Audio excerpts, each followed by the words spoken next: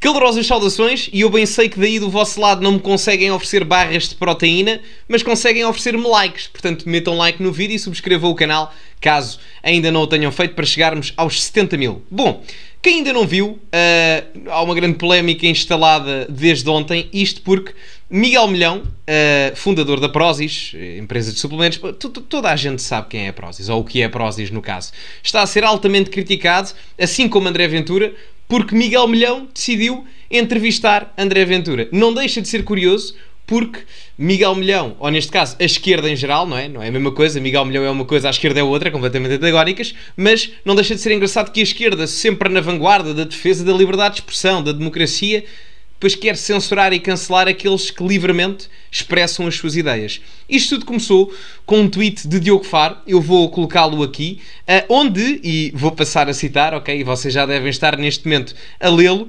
qualquer pessoa que consuma Prozis, e pior, a promova, está a, está a patrocinar o fascismo, se já era provável, agora é certo. Façam as vossas escolhas. Portanto, se forem, por exemplo, um jovem de 16 anos que simplesmente gosta de comer uma barrinha de proteína antes de um dia de peito, então nesse caso já estão a promover ideologias totalitárias do século XX. Até porque não deixa de ser engraçado e talvez um grande desconhecimento a nível histórico, porque Mussolini, não é? O pai do único regime fascista na história, porque foi o único fascista. Podemos, há outras ditaduras, ok, mas do, da índole mesmo específica fascista, foi o único. Ele dizia uma coisa muito interessante que era tudo dentro do Estado nada fora do Estado. Ora, eu quando ouço o Miguel Milhão, o dono da Prozis, a falar, até porque eu também fui entrevistado por ele, a entrevista sairá nas próximas semanas, esta quarta saia do André Ventura, a minha sairá daqui a umas semanas. Eu quando ouço falar, é numa questão muito grande de livre mercado, quase libertária. Portanto, eu não sei até que ponto é que o Mussolini adorava assim a visão de Miguel Milhão. Depois também tivemos outro muito curioso, não é? Assim, destas personalidades que aparecem assim, e que diz: se, compra, se compram na Prozis, estão a contribuir para, eu não vou dizer a palavra, mas estão a contribuir para um chu do Estado que anda a financiar e promover a extrema-direita. Boicota a Prozis. Portanto, uh, eu, eu não sou patrocinado pela Prozis, uh, mas uh, eu comprei na Prozis, não é? Comprei na Prozis. Porque é preciso, reparem, quando estas pessoas dizem que estão preocupadas com aquilo que é o ganha-pão dos trabalhadores, mas depois querem boicotar uma empresa como a Prozis, que tem N empregados, trabalhadores portugueses, e que produz tudo, ou praticamente tudo, em Portugal. É uma empresa nacional, paga os seus impostos aqui, os seus trabalhadores estão cá, as sedes, está sediada em Portugal. Portanto, eh, eu às vezes olho para aquilo que a esquerda diz e aquilo que a esquerda faz é um bocado estranho, quer nestas duas publicações. As imagens já estavam aqui a passar. Isto não é novo. Eu trouxe isto aqui, por isso é que eu estou aqui mais ou menos da dimensão do Marcos Mendes. Porque o próprio Miguel Milhão já tinha estado envolto numa polémica há cerca de um ano e meio atrás, mais ou menos, um, e foi relativamente à situação da interrupção voluntária da gravidez. Eu não posso dizer a palavra aqui em questão no vídeo, uh, mas em que ele próprio se assumiu contra, não é? Tendo em conta a questão da Roe v. Wade nos Estados Unidos, porque voltou a ser proibida em alguns estados essa possibilidade, e curiosamente as influencers da Prozis, não é? Não é? Eu por acaso sou influencer em determinado aspecto, não gosto desse título, mas ainda não uso leggings uh, para, para estar nesse, nesse patamar. E depois o que temos aqui, fundador da Prozis assumiu-se contra a interrupção voluntária da gravidez e influencers já estão a, a cortar vínculo com a marca. Miguel Milhão apoiou publicamente a, a decisão do Supremo Tribunal dos Estados Unidos sobre o tópico. Influencers decidiram cortar vínculo com a marca, mas fundador da Prozis garante que não muda de opinião. Uh, é nisto que eu gosto do Miguel Milhão, a gente já se conhece há algum tempo. Portanto, um abraço para ele.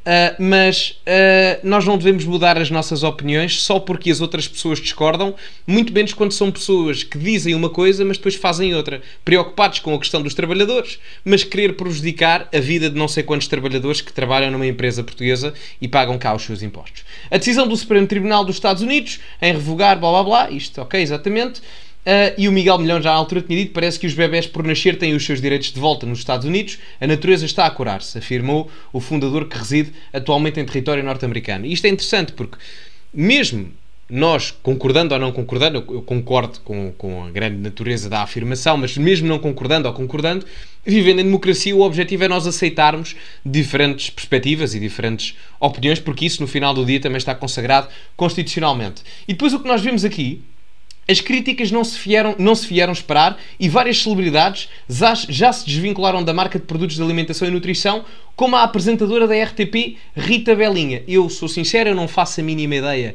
quem seja a Rita Belinha, não faço mesmo a mínima ideia.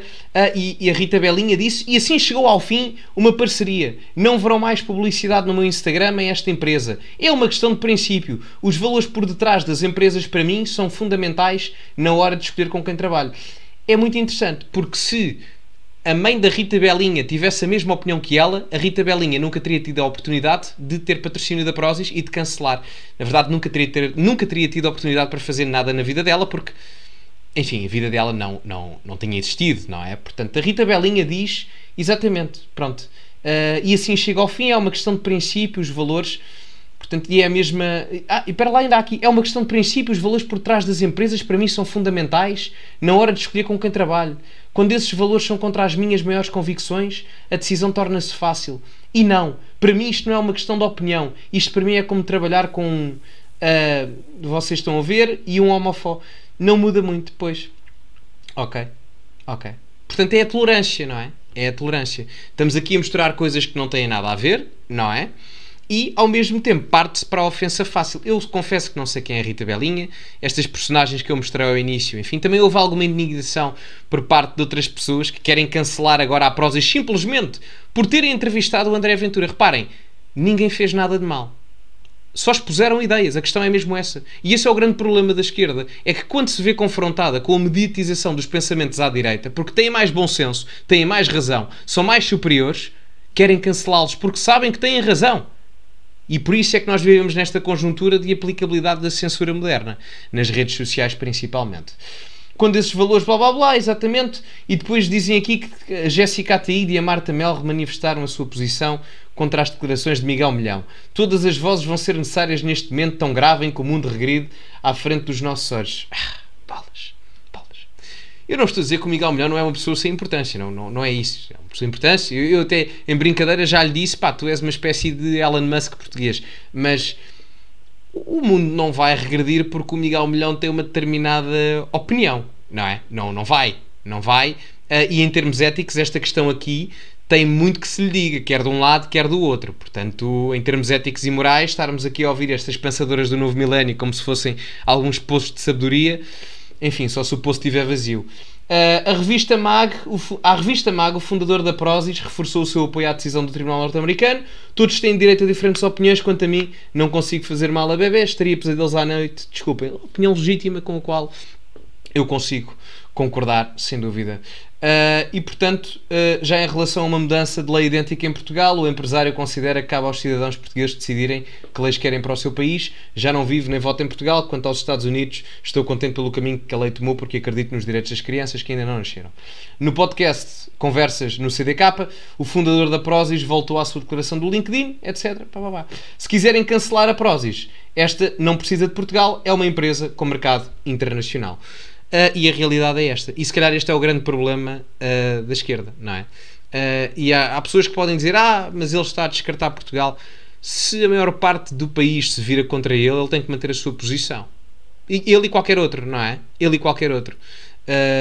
e portanto não me parece assim nada de, do outro mundo. Eu já vi pessoas dizer: Ah, porque ele disse que não precisava de Portugal em termos comerciais não, não precisa. Eu, e depois até é hipócrita, porque as pessoas dizem ah, Portugal é um mercado muito pequeno. E depois quando temos empresas a se ingrar lá fora, a ter sucesso lá fora e dizem nós não precisamos de um mercado pequeno como o de Portugal, vêm chorar porque constatam factos em termos económicos. É a realidade. É a realidade, tão simples quanto isso. Portanto, só por uma simples entrevista ao líder do maior terceiro partido português, querem cancelar uma empresa de suplementos. Aliás, o podcast não tem nada a ver, o podcast do Miguel não tem nada a ver com a Prozis em si. Nada, aliás, acho que aquilo nem tem. Pronto, obviamente que é o fundador e etc. Há sempre uma inerência, mas uma coisa é a empresa, outra coisa é o podcast. Aquilo não está inerentemente conectado. Portanto, acho ridículo. E, e ainda mais, se forem ver o Twitter do Miguel Milhão, ele já convidou N pessoas de esquerda, a Mariana Mortágua, o Rui Tavares, eu só me estou a falar assim, o Daniel Oliveira, do Bloco de Esquerda, não o do Alta Definição, atenção, para irem ao, ao CDK, ao podcast dele, nem ai, nem ui. Portanto, não aceitam ir ao podcast conversar livremente sobre o debate de ideias. Mas depois censuram aqueles que vão ao debate de ideias mesmo nesse podcast. Portanto, é um ponto de hipocrisia do tamanho do mundo. Eu peço imensa desculpa. E, e, e, outra coisa que me chateia é que nós hoje vivemos períodos de polarização muito grande, há pouco entendimento, há pouco consenso. E o que se vê também é que a única solução para isso é o debate. Como é que nós vamos despolarizar a sociedade se não há debate? A questão é essa. Depois, aqui em baixo, no site da empresa, a Prozis apresenta a linha orientadora da marca e os valores que regem, etc. Tratamos os outros da mesma forma que gostamos de ser tratados, às vezes agressivos, outras vezes com dureza, mas também suaves e cuidadosos.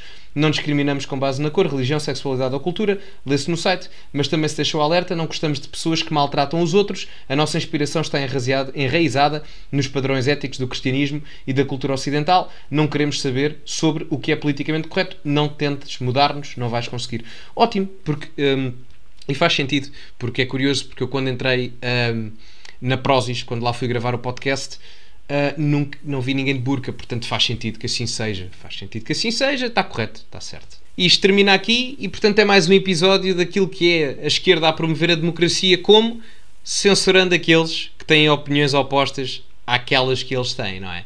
Viva a democracia, não é? Viva o 25 de Abril. Uh, bom, meus amigos, este foi o vídeo. Podem deixar o vosso like aí em baixo. Subscrevam também o canal que é importantíssimo. Partilhem o vídeo e, como é habitual, acima de tudo, cultivem-se. E até à próxima.